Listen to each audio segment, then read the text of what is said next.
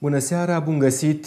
Identitatea europeană, despre ea vorbim în această zi când sărbătorim ziua Europei, ziua continentului în care ne-am dezvoltat, dar în același timp ziua continentului a cărui istorie este foarte importantă pentru a ne înțelege rolul nostru din prezent.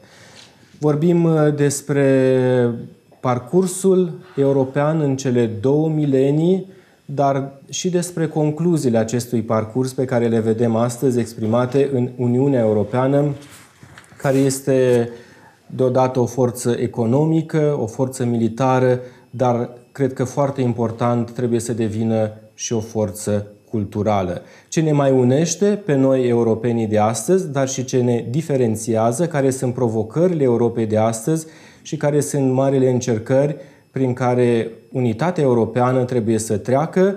Vedem dacă peste ani aceste încercări vor determina consolidarea ei sau destrămarea ei. Invitatul din această seară este domnul Radu Crăciun, director BCR Pensii. Bună seara, bine ați venit! Bună seara, mulțumesc pentru invitație! O sărbătoare a identității, spuneam, și până la urmă spunem cu multă mândrie, mai ales din 2007, că suntem cetățeni europeni. Acum aproape 2000 de ani, cu aceeași mândrie pe plan global, se spunea suntem cetățeni romani. Ne dă, ne dă niște drepturi în plus această identitate, așa cum și celor de, din Imperiul Roman le confereau o anumită mobilitate și anumite uh, drepturi speciale. Mai este purtat acest uh, uh, buletin, să spunem, acest certificat de cetățean european cu mândrie, mai ales că euroscepticismul sau contestatarii Uniunii Europene sunt mult mai mari. De fapt, poate ar trebui să începem de la această diferențiere între Uniunea Europeană și Europa propriu-zisă ca structură uh, geografică. Uh, sigur, cred că nu, nu greșim foarte tare dacă aproximăm Europa prin Uniunea Europeană. Până la urmă, numărul țărilor care sunt europene, dar nu sunt parte a Uniunii Europene, este destul de mic. Uh, sigur, rămâne discutat Rusia, cum o considerăm dar altminteri numărul țărilor care nu foarte parte din Uniunea Europeană și sunt totuși europene este mic. De aceea, în general, se consideră că Uniunea Europeană este un uh, reprezentant bun pentru ce înseamnă Europa, spiritul european, valorile europene. Um, întrebarea dumneavoastră este, cred că cuprinde două planuri. Pe de o parte, vorbeați, v-ați folosit sintagma uh, cetățean european și asta, de fapt, e o întrebare foarte bună. Uh, se simt europenii cetățeni europeni sau se simt cetățeni germani, cetățeni francezi, cetățeni italieni și așa mai departe. Și mm, sper să putem discuta pe această temă. Uh, și mai menționați în alt plan, zic eu, uh, partea beneficiilor aderării la Uniunea Europeană și a beneficiilor pe care uh, cetățenii Uniunii Europene le au prin aderare la Uniunea Europeană. Și Cred că nu este nicio exagerare dacă ne uităm în ultimii 10 ani și spunem că, până la urmă, mari beneficiari ai, ai apartenenții la Uniunea Europeană au fost fostele țări uh, comuniste, fostele, fostele țări în Europa de Est, uh, Polonia, uh, Ungaria, Cehia, Slovacia, România și, și Bulgaria. Practic, acest proces de recuperare a întârzierii economice față de nucleul european ar fi fost imposibil fără uh, fondurile, asistența financiară de care toate aceste țări uh, s-au bucurat din partea Uniunii Europene, că vorbim de investiții în infrastructură, că vorbim de programe de dezvoltare, consultanțe, educație și așa, și așa mai departe. Deci, uh, pe de o parte avem, să spunem, uh, vechii membri a Uniunii Europene, care au fost beneficiarii istorici, dacă vreți, ai Uh, circulației forțe de muncă, a circulației libere a capitalului, a uh, schimburilor de cunoștințe, de know-how și așa mai departe, a democrației europene până la urmă, dar uh, în al doilea rând și nu mai puțin important, ba din potrivă, avem noi veniți, care sunt țări precum România și care aș spune că au beneficiat cu atât mai mult de apartenența la Uniunea Europeană, cu cât decalajul de dezvoltare între aceste țări și nucleul Uniunii Europene era mai mare. Deci, practic, distanța de recuperat era și ea mai mare și din acest motiv și, și diferența pe care a făcut-o aderarea la Uniunea Europeană a fost mai semnificativă. Ați deschis acest subiect foarte interesant al vârstelor diferite de dezvoltare din uh, familia europeană, din structura aceasta europeană, pentru că uh, de multe ori principalul barometru de măsurare a um, prezenței unui stat în Uniunea Europeană este cel economic. Zona culturală este undeva, să spunem, adiacentă sau nu atât, în plan secund, nu atât, nu atât de important. Credeți că acest val de extindere, care a însemnat și un efort al Uniunii Europene de a reduce decalajul de dezvoltare dintre țările din Est, foste comuniste unele, și cele din, din Vest, a determinat această fragilizare a ideii de cetățean european sau de identitate europeană? Eu nu cred acest lucru. Mai mult decât atât, chiar am deplâns faptul că Uh, vechii membri ai Uniunii Europene pun această fragilizare pe uh, uh, marginea extinderii către, către Est. Părerea mea este că, indiferent dacă această extindere avea sau nu avea loc, Uniunea Europeană avea deja o problemă. Ce s-a întâmplat de fapt a fost că criza a expus-o. Uh, în uh, perioadele în care uh, e așa, comunitatea, comunitatea prosperă, toată lumea e fericită, toată lumea se uită la beneficii, iar problemele sunt ascunse sub preș sau sunt uitate. Soliditatea unei comunități este testată în momentele de criză.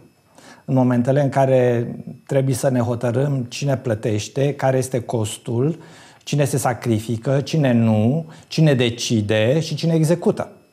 Or, uh, ceea ce s-a întâmplat cu prilejul crizei, crizei financiare uh, de după 2008 a fost uh, radiografierea slăbiciunilor Uniunii Europene, care până în acel moment nu se văzuseră pentru că avusesem parte de o comunitate extrem de, de prosperă.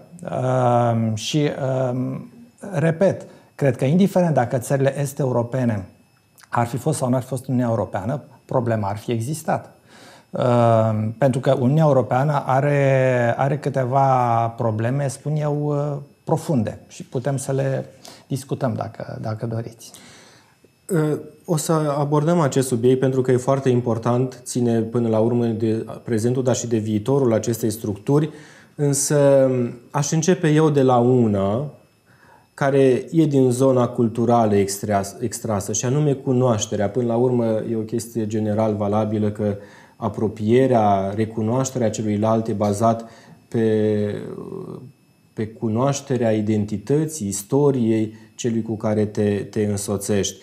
Citisem acum câteva zile un studiu despre cât știu cetățenii europeni despre istoria Europei, dar mai ales despre istoria statelor care compun Uniunea Europeană sau dacă ar putea măcar să le uh, enumere pe toate cele, cele prezente în structura europeană și peste 70% dintre europeni uh, știu foarte puțin sau aproape deloc despre celelalte state. Credeți că um, această lipsă de cunoaștere a celuilalt sau aceste granițe care, într-un anumit mod, au fost desfințate, dar ele s-au păstrat, sunt și firește într-o oarecare proporție, e granița identității tale naționale. Credeți că aceste granițe uh, uh, de cunoaștere, bariere de cunoaștere, au, uh, au determinat această fragilitate a Europei de astăzi?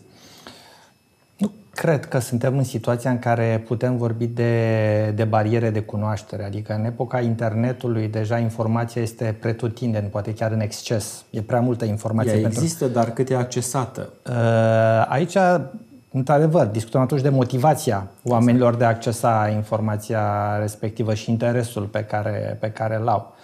Uh, din păcate, ăsta este paradoxul, și anume, cu cât este mai multă informație disponibilă, cu atât um, superficialitatea cu care ea este abordată uh, este mai mare. Poate pentru că oamenii nu pot procesa, toată informația și atunci se limitează la lucrurile mai degrabă frivole, superficiale. Ehm, poate nu sunt interesați, poate ține de noile generații pe care eu cel puțin încă încerc să, să le înțeleg din punctul de vedere al priorităților lor și care sunt în mod evident diferite față de noi, cei mai ehm, seniori, să spunem așa. Ehm, dar într-adevăr, acesta poate fi, poate fi un motiv, dar nu cred că este singurul. Adică nu cred că ăsta este motivul principal pentru care un cetățean german se va simți întotdeauna, în primul rând german și în al doilea rând european. La fel, un cetățean francez se simte întotdeauna în primul rând francez și în al doilea european. Din punctul ăsta de vedere, cred că elitele europene au eșuat dramatic în a Uh, produce, în a construi uh, conceptul de cetățean european. Uh, Europa continuă să fie un spațiu multicultural. Și firesc să rămână așa. Da, cu avantajele, dar și dezavantajele ei. Europa este un spațiu multicultural fără o lingua franca. Din punctul ăsta de vedere, visul Statelor Unite ale Europei, din punctul meu de vedere, este nerealist. Statele Unite ale Americii are o limbă unică pe care o folosește, limba, limba engleză care facilitează mobilitatea populației, nu? Deci poți ca să te duci oriunde să lucrezi și, și sigur că te vei înțelege cu, cu angajatorul tău. Uh, facilitează, um, să spunem, schimburile culturale, facilitează transferurile de uh, finanțare în sensul în care unele zone sunt subvenționate de altele, adică nu apare această imagine germanii subvenționează pe greci, nu? ci americanii subvenționează pe alți americani. Uh, deci, din punctul ăsta de vedere, Statele Unite ale Europei, din punctul meu de vedere, este o utopie. Și, uh, în esență, dacă ne gândim acum la o integrare mai profundă, așa cum se dorește, uh, și aici e o discuție dacă e realist sau nu, o integrare mai profundă cred că nu poate fi realizată în contextul mozaicului cultural existent în Europa. Pentru că o integrare mai profundă va presupune inclusiv ca decizii care țin de Spania sau uh, de Olanda Uh, să se ia într-un organism uh, multinațional care nu este nici olandez, nici spaniol. Iar aceste țări se execute ceea ce acest organism european uh, va decide. Nu mai vorbesc de nemți, care și ei ar trebui, nu e așa, să execute ce decid alții, nu ce decid ei. Asta este un aspect. Al doilea aspect, esențial al integrării profunde, sunt ceea ce se cheamă transferurile fiscale. Adică sunt uh, zone ale Europei unde veniturile, încasările uh, bugetare ar fi foarte mari, bugetul regional ar avea un surplus, dar sunt alte zone mai sărace, de bună, bună oară estul Europei, care ar necesita niște transferuri fiscale din acest surplus al altor, al altor uh, regiuni. Or, iarăși, este destul de dificil să ne imaginăm cum surplusul bugetar al Germaniei, pentru că Germania este o țară cu un surplus bugetar în care uh, veniturile sunt mai mari decât cheltuielile, ar fi transferate spre o țară ca Italia, de exemplu. Pentru că vorbim de două țări cu valori diferite, cu o etică a afacerii diferite, cu o calitate a guvernanței diferită și așa mai departe. Și putem fi siguri că germanii nu invidiază calitatea guvernanței din Italia. Cu siguranță și s-a văzut acest aspect atunci când Grecia a trecut prin această Sigur. N-am vrut, Grecia e exemplul cel mai la îndemână, dar am zis ok, hai să folosim. În esență, până la urmă, despre ce vorbim? Vorbim despre divergența existentă permanent, inclusiv înainte de aderarea țărilor din Europa de Est, că despre asta vorbim, între nordul și sudul Europei. Sudul Europei, țările mediteraneene, țările latine, um, nu care sunt țări care, ca și noi, uh, cum sunt, sunt țări frumoase, dar în care mai lumea... Mai rigoriste, mai... Da, dar în care lumea uh, muncește ca să trăiască, aș spune, și țările nordice, unde nu sud-europenii consideră că, de fapt, se trește ca să muncești. Da? Deci Iar. e o diferență majoră de, de, de filozofia vieții până la urmă. Deci o, o cultură socială. Da. Um, pentru că vorbim despre aceste, aceste diferențe foarte mari, dar în, în același timp vorbim și despre o structură localizată la Bruxelles, care se vrea într-un fel general valabile pentru toată Europa. Credeți că există o criză de lideri europeni astăzi și vorbim efectiv despre aceste structuri care conduc destinele uh, Uniunii Europene? Um, eu aș spune că, din păcate, cu rare excepție, uh, a existat o criză de leadership uh, quasi permanentă în, în Uniunea Europeană. Și de ce spun asta? Tocmai datorită eșecului de a crea conceptul de, de cetățean european. Dacă ne uităm, practic am avut o elită europeană care a încercat în mod constant să, să crească, să aprofundeze integrarea europeană, însă de cele mai multe ori, de multe ori a eșuat în a-i lua și pe ceilalți împreună cu ei, pe ceilalți în sens alegătorilor lor. Nu?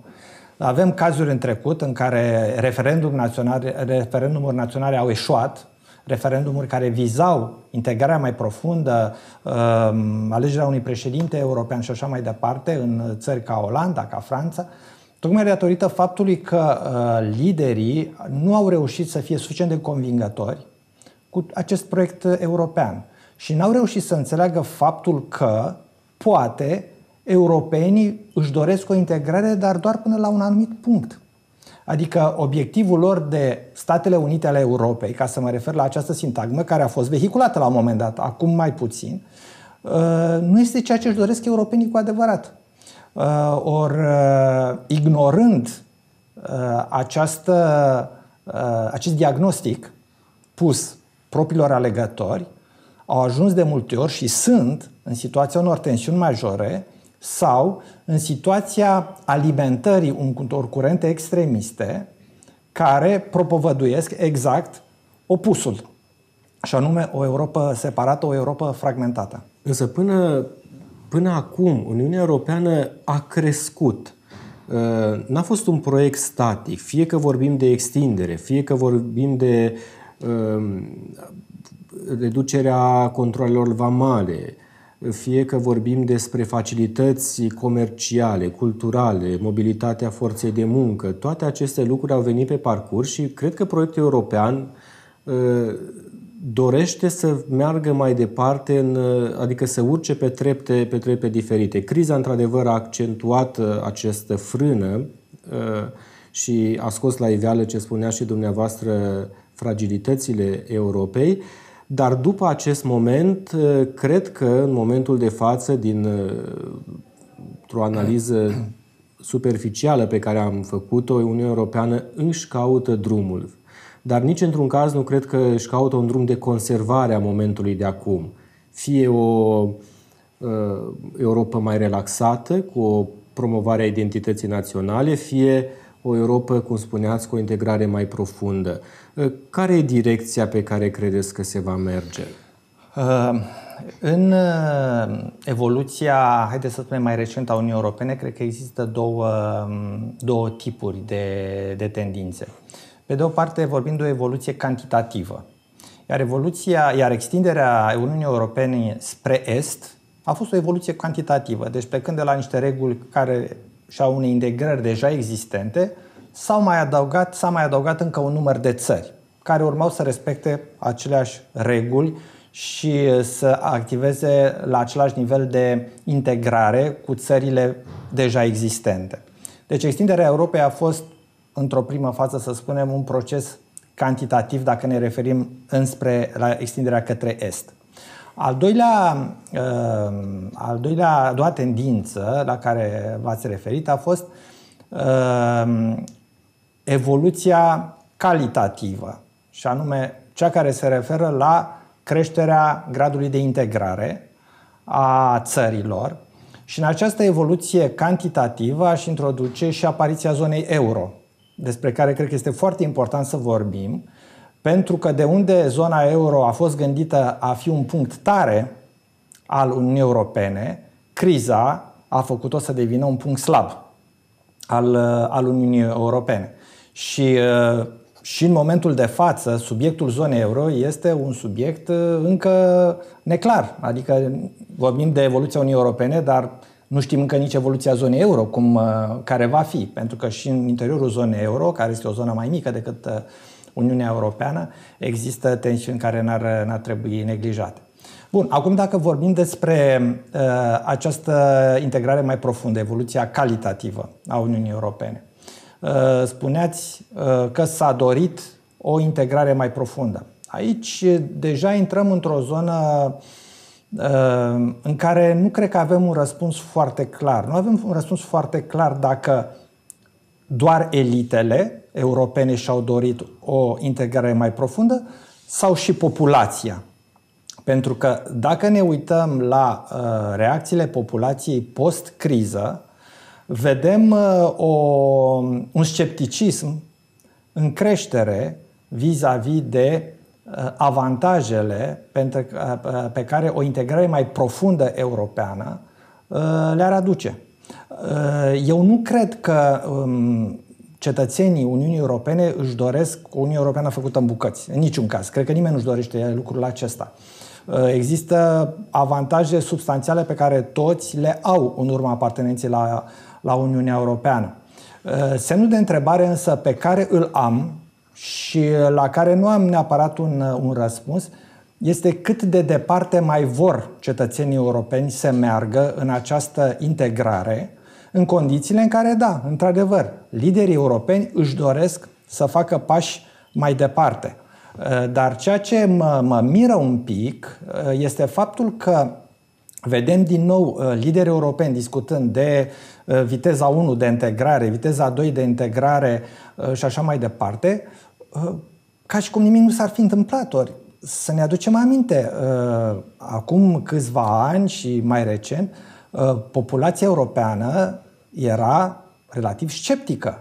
Adică ce anume îi face, îi îndreptățește ca acum, odată ce criza s-a uh, a trecut, uh, nu ne uităm, vedem din nou reluarea creșterii economice și așa mai departe, să șteargă cu buretele uh, tot ce a existat în mentalul colectiv în sens negativ și zică, ok, haide să continuăm mai departe, continuăm cu integrarea mai departe. Nu, problema e tot acolo, n-a rezolvat-o nimeni.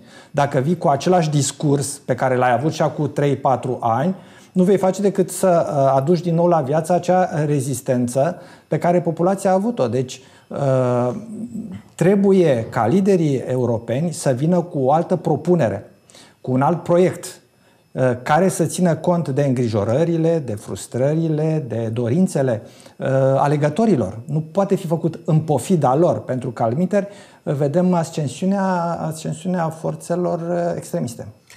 Despre asta mă gândeam să vorbim în continuare pentru că a spus de faptul că, într-adevăr, majoritatea cetățenilor europeni nu-și doresc o Europa, uh, o Uniune Europeană distrusă, fărămițată și revenire la vechile uh, granițe strict economice și culturale, dar pe de altă parte curentul acesta al euroscepticismului uh, crește încet, dar există o creștere constantă.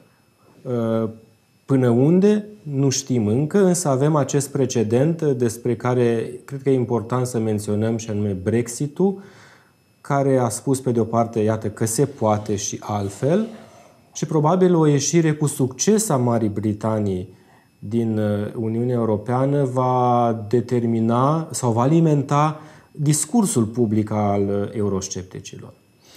Ehm, eu cred că o, o, un, o componentă foarte importantă a euroscepticismului, eh, dincolo de elementele culturale pe care le-am discutat până acum și care sunt și ele extrem de importante, este cea economică. Și ehm, aici trebuie să ne uităm un pic ce s-a întâmplat practic în ultimii 10-15 eh, ani cu clasa de mijloc europeană. Ehm, nu, acum 15 uh, ani a demarat în forță acest proces numit uh, globalizare, uh, care practic a avut câteva consecințe extrem de importante, și benefice, dar și, și negative. Foarte pe scurt, din punctul meu de vedere, au existat doi beneficiari mari ai procesului de globalizare.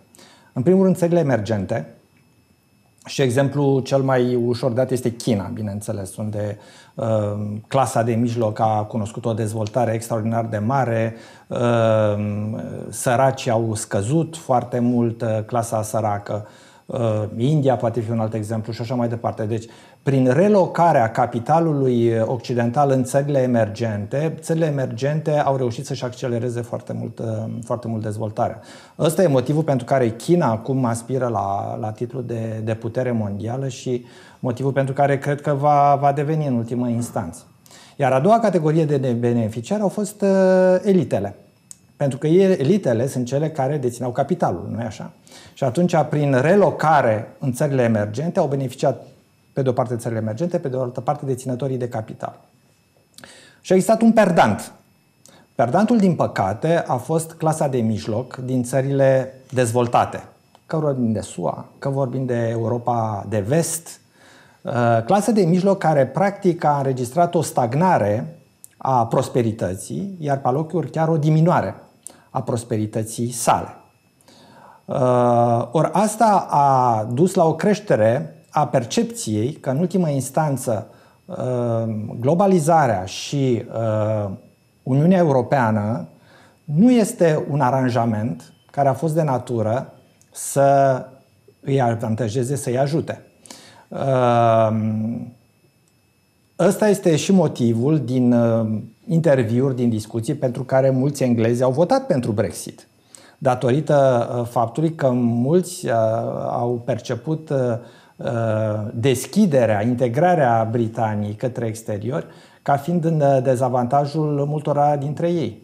Și atunci exprimarea frustrărilor a fost prin acest vot, într-un mod total nefericit, aș spune eu, uh, prin care s-au hotărât ca să se desprindă de, de Uniunea Europeană. Din păcate, cred că în afara Uniunii Europene le va fi mai, mai rău decât le-ar fi fost înăuntru. Însă, revenind sau rămânând în acest subiect uh, al Marii Britanii, poate îmbucurător e faptul că tinerii au votat în proporție majoritară pentru rămânerea în Uniunea Europeană. Uh, adică generația aceasta tânără, care până la urmă va fi într-un fel integrată în viitorul european, privește cu alți ochi, fiind crescut, să zicem, în spiritul acestei unități europene. Um, Aș risca să afirm că cred că, în general, tinerii au o vocație mult mai puternică de a uh, șterge granițele.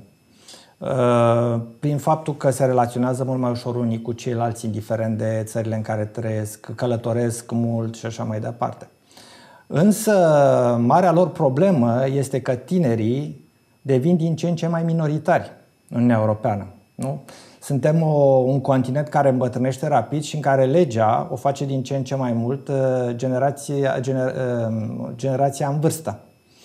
Uh, vocea tinerilor, din păcate, este din ce în ce mai puțin auzită. Și aici nu vorbesc doar de integrare europeană, vorbesc inclusiv de nivelul lor de, de viață. Și aici trebuie să spunem, cu toate că, și asta e valabil inclusiv pentru România, cu toate că peste tot canalele media sunt inundate de sărăcia populației în vârstă. De fapt, cei mai expuși la sărăcie sunt de fapt tinerii, inclusiv din, din România. De ce nu se vorbește mult despre ei? Pentru că cei mai mulți votanți provin din zona seniorilor, nu din zona populației tinere. Dacă tinerii ar fi fost mult mai mulți, cu siguranță că problema sărăciei tineretului ar fi fost un subiect mult mai prezent pe uh, micile, micile ecrane. Asta este valabil și la nivelul, la nivelul Europei și este, este un motiv de, de îngrijorare. Pentru că nu oamenii uh, aflați către uh, partea de final a vieților au anumite priorități care se referă la protecție socială, la uh, sănătate și așa mai departe. Tinerii care au toată viața în față, au cu totul alte priorități. Ei poate își doresc impozite mai mici, poate își doresc uh, anumite uh, investiții în educație și așa mai departe. Ori de la un punct încolo, într-un buget, apare o concurență între cheltuieli pentru educație sau cheltuieli pentru asistență socială. Ce vor prefera politicienii, că sunt ei români sau... Și atunci vor prefera acele beneficii care le aduc mai multe voturi. De unde le vin mai multe voturi? Din partea populației în vârstă. Care este mai fidelă acestui proces de... Și mai activă politic. Și mai activă politic, exact. Într-adevăr, e un grad destul de scăzut de implicare al tinerilor în viața socială. Sigur, cred că cauzele sunt foarte multe. Pe de altă parte, în România există și această lipsă de speranță destul de destul de prezentă în rândul tinerilor, însă rămân, mi-a rămas restantă o întrebare, ați vorbit despre extinderea cantitativă a Europei, destul de rapidă poate, după anii, după anii 2000, în valuri apropiate de extindere, credeți că s-a grăbit Uniunea Europeană către, către acest demers, pentru că acum se reproșează, liderii de acum reproșează liderilor de atunci că țările care au intrat și intrăm și noi în această categorie în Europeană nu erau pregătite pentru ea. Bun, acum ă, depinde din ă, în care tabără ne aflăm. Din punctul nostru de vedere nu s-au grăbit. Bine au făcut că s-a extins ă, repede pentru că am putut și noi să intrăm în acest val care, apropo, odată trecut, probabil că n-ar mai fi venit prea, prea repede. Din punctul lor de vedere, pe de altă parte, este îndeopște cunoscut faptul că cel puțin uh, România și Bulgaria nu erau pregătite 100% pentru a adera la, la Uniunea Europeană. Uh, pe de altă parte, să trebuie să spunem, probabil că în interiorul Uniunii Europene am făcut progrese mai rapide din punct de vedere al uh, legislației, al statului de drept, al economiei de piață și așa mai departe, decât le-am fi făcut dacă am fi rămas în exterior. Aici uh, vreau să deschid o mică paranteză care e legată de acest subiect. Se face o greșeală. Și anume când se discută despre integrarea României în zona euro. Sunt unii care spun următorul lucru. România nu era pregătită nici să intre în Uniunea Europeană și totuși a intrat. Și uite ce bine a fost, că chiar nepregătită a progresat foarte repede. De ce să nu intrăm și în zona euro, chiar dacă suntem nepregătiți? Pentru că, după același model, România va reuși să se ajusteze ca economie și să facă față cu succes acestei... Ne vom descurca. Cum ne vom descurca, ne vom descurca. Uh, cred că ar fi o mare greșeală, pentru că spre deosebire de apartenența la Uniunea Europeană, care uh, conține foarte, foarte multe fațete ce puteau fi rezolvate din mers, uh, aderarea la o zonă monetară unică, așa cum este euro, are o componentă economică extrem de puternică, extrem de importantă. Și dacă această aderare la moneda unică se face fără ca economia țării respective să fie la un nivel cât de cât apropiat de competitivitate cu acelorlalți membri, șocul aderării va fi atât de puternic încât poate să dezechilibreze major economia și locul de a fi un beneficiu pentru România să fie o mare problemă. Și aici Grecia este exemplu cel mai clar ce se întâmplă când fentezi, pentru că ei realmente au fentat Uh, criteriile de aderare prin raportări statistice distorsionate și așa mai departe um, și te trezești într-o uh, zonă monetară unică fără a fi absolut deloc, uh, deloc pregătit. Mai devreme sau mai târziu, turnesolul economic îți va arăta slăbiciunile pe care le ai și faptul că, de fapt, te afli acolo unde n-ar fi trebuit să, să fii. Aș vrea pentru partea următoare a emisiunii să vorbim și despre aceste probleme care ne vizitează foarte mult în spațiul european.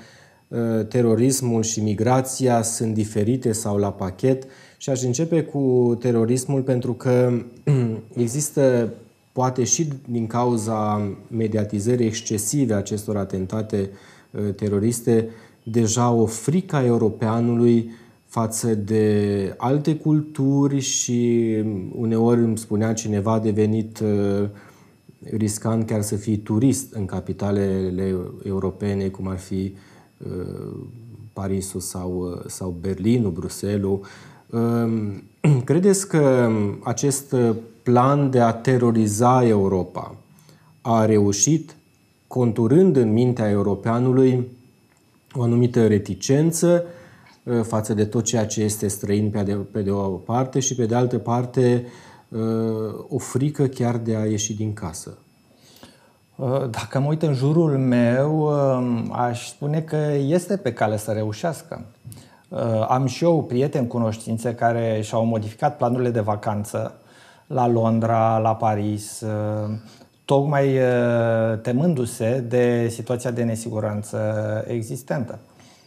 Sigur, că aici va depinde foarte mult de măsura în care autoritățile respective vor reuși să preîntâmpine orice atac viitor, pentru că acum a existat o perioadă relativ scurtă în care am avut toate aceste atacuri teroriste și care au ridicat semne serioase de întrebare vis-a-vis de capacitatea autorităților de a ține sub control acest lucru. Dacă vom avea o perioadă lungă de liniște, sunt convins că oamenii se vor întoarce la călătorie, la turism și așa mai departe.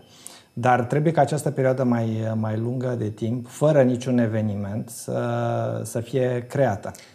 Dar e foarte ciudat că ă, aceste atacuri teroriste au loc în tot, pe tot globul. Vorbim de Statele Unite, vorbim foarte mult de spațiul asiatic, însă cred că în Europa sunt poate excesiv, ă, excesiv mediatizate. Nu credeți că există o anumită uh, să zicem, ridicarea lor pe o treaptă care poate nu o au?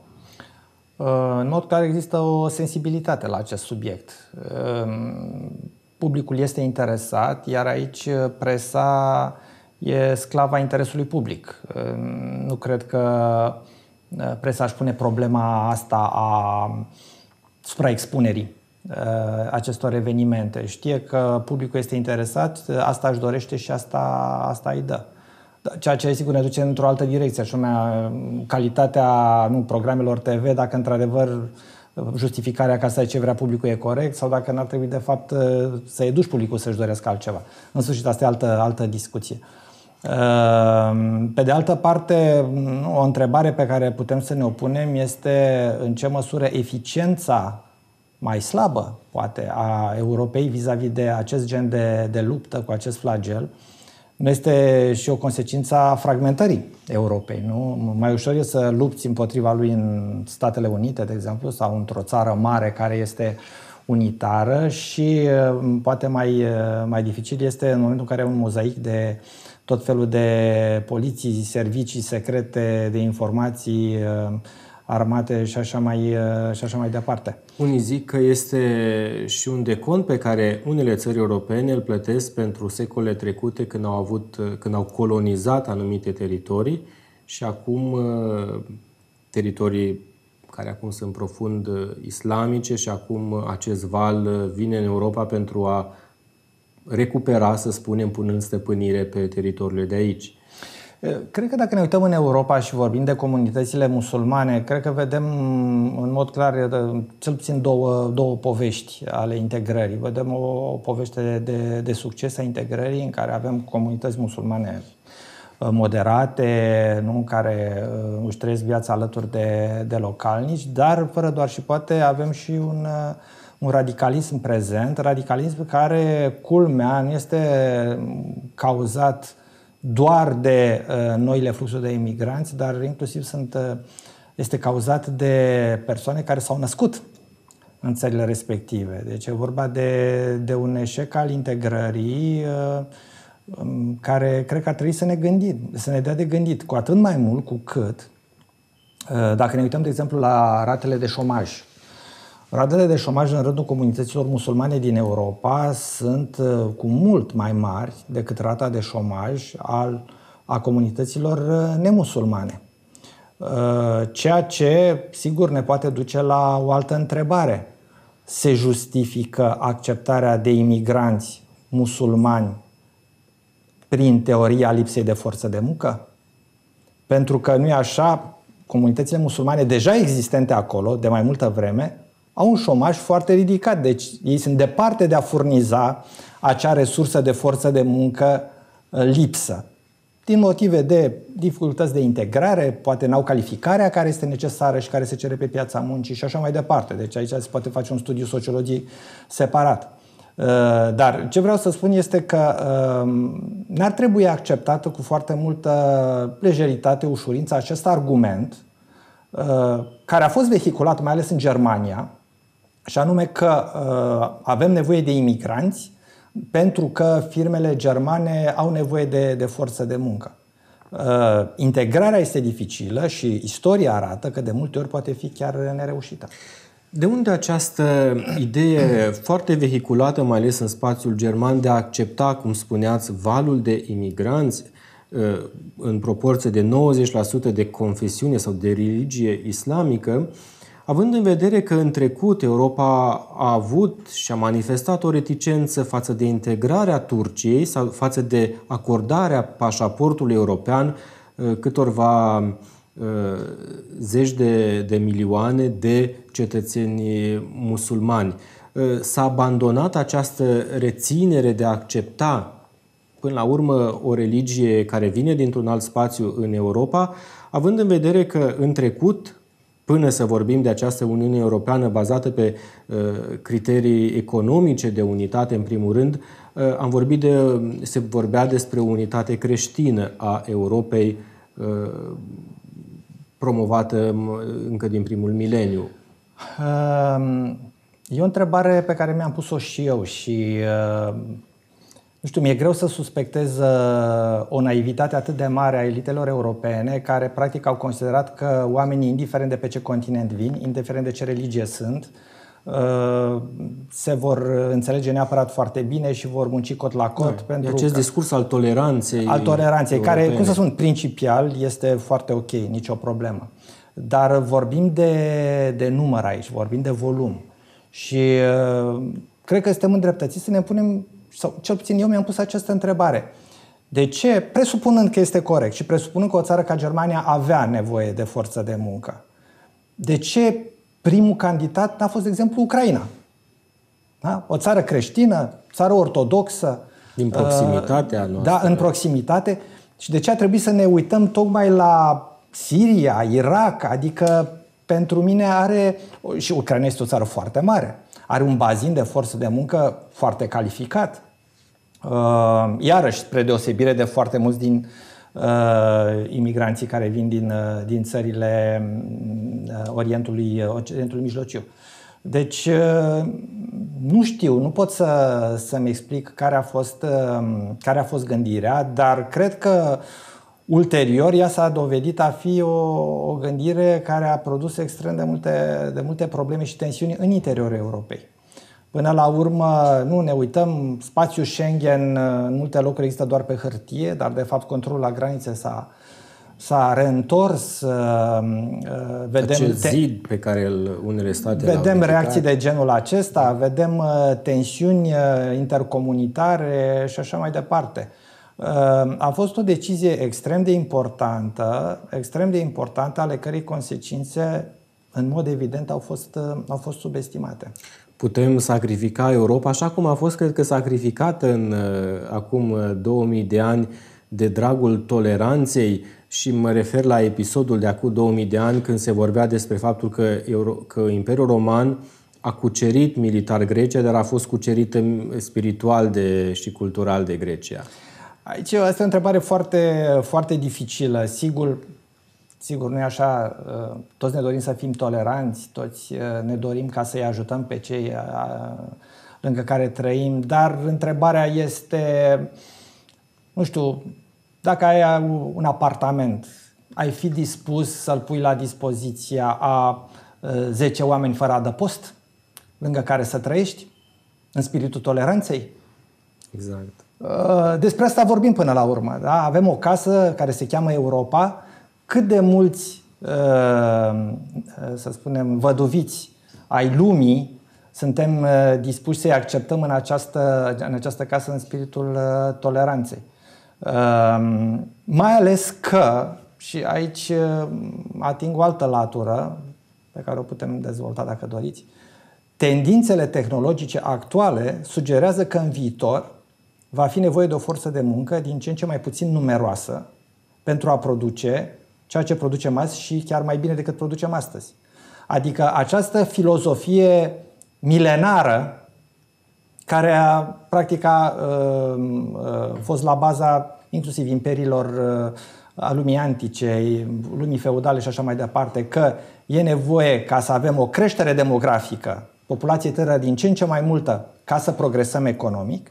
Deci această teorie, în contextul revoluției tehnologice actuale, începe să-și piardă din, din justificare. Din ce în ce mai puțini oameni vor putea să producă din ce în ce mai mult. Și atunci întrebarea este de ce ne dorim din ce în ce mai mulți imigranți când în viitor, de fapt, foarte mulți, uh, multe echipamente tehnologice, roboții vor înlocui forța umană. Da, pe de altă parte, noi vorbim despre uh, o creștere demografică pe plan global destul de accentuată și o scădere uh, demografică, mai ales în spațiul european. Uh, poate Europa își reglează astfel coeficientul demografic prin importul acesta de, de imigranți din alte tocmai asta țări, spun, tocmai asta lumii. spun. Acest reglaj în mod normal n-ar trebui să ne mai preocupe.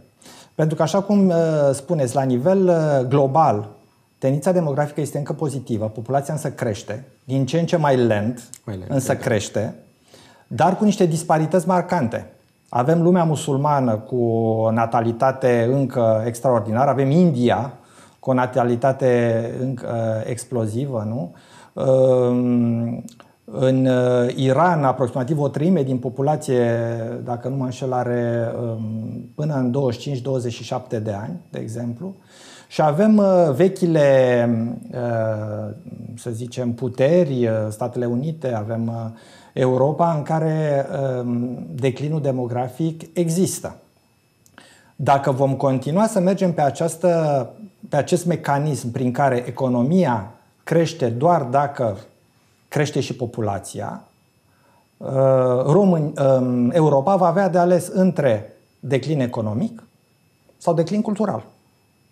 Pentru că va trebui să importe din zonele unde natalitatea este pozitivă și care sunt zone necreștine.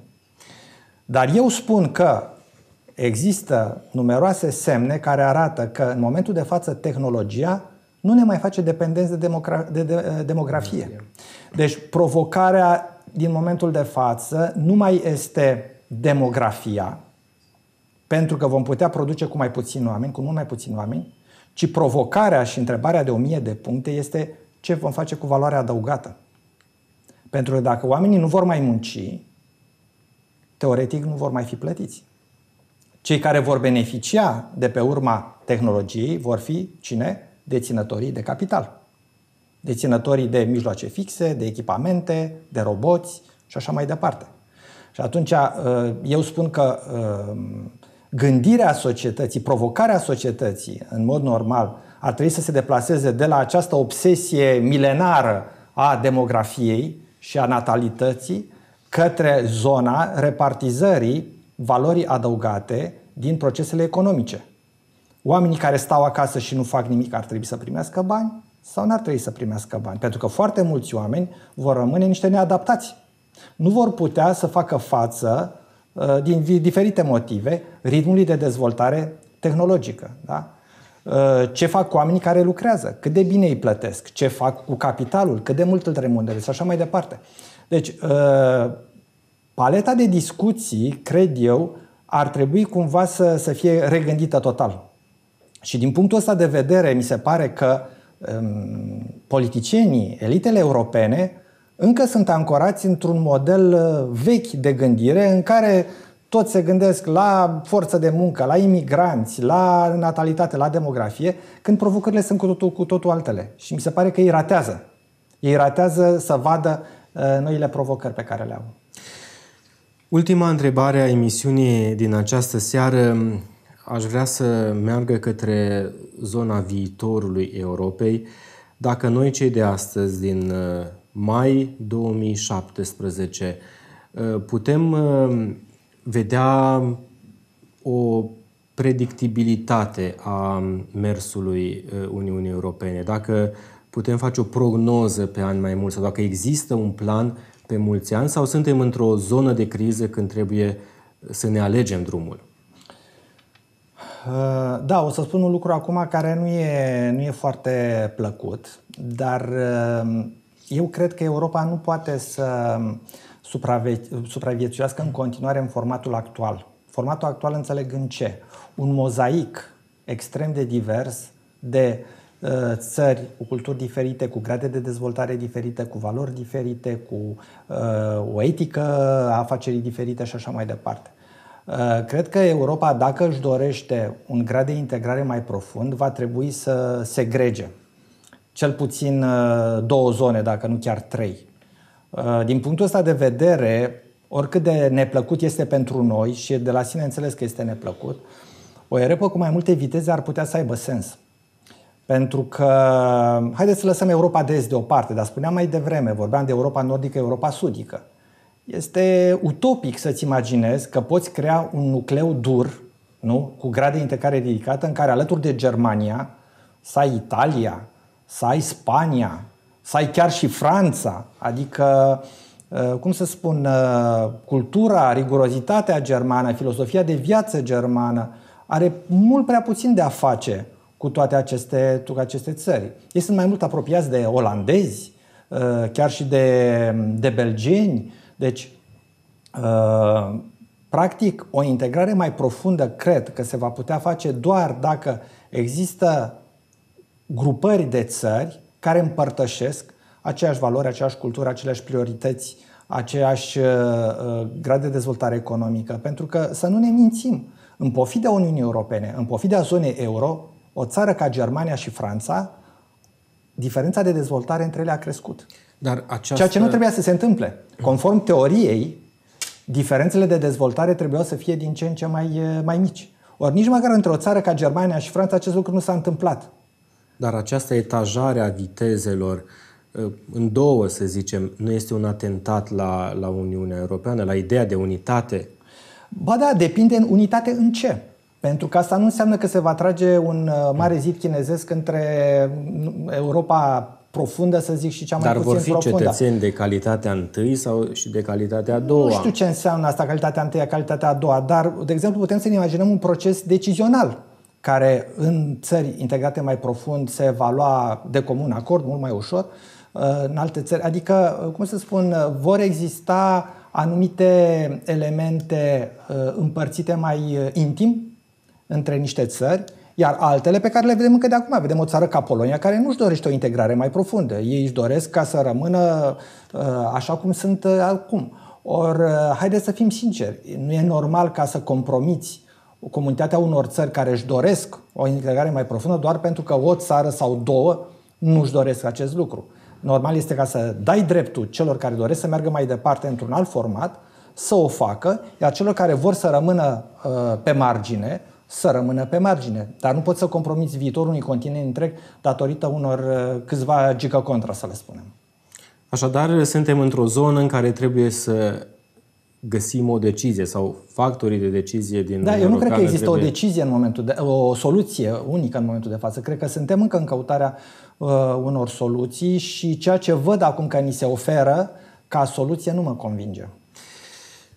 Uh, sper că nu e doar o concluzie pesimistă a dialogului din această seară, dar uh, e o concluzie destul de realistă, anume că, într-adevăr, există o zonă de indecizie în uh, structurile europene. Cred că este foarte important să rămânem realiști. Nu e vorba de optimist sau pesimist aici, dar e bine să, să înțelegem bine ce se întâmplă în jurul nostru și să încercăm să interpretăm cu cât mai puțină emoție și cu cât mai multă rațiune. Vă mulțumim mult pentru această discuție cu și plăcere. mai ales pentru realismul pe care venind din zona bancară, l-ați adus în, în mai practic, l-ați adus în, în spațiul uh, discuției noastre. Vă mulțumesc mult și pentru că e ziua Europei, vă spun și la mulți ani. Mulțumesc, asemenea. Vă mulțumim și dumneavoastră că ne-ați fost alături. O seară frumoasă tuturor!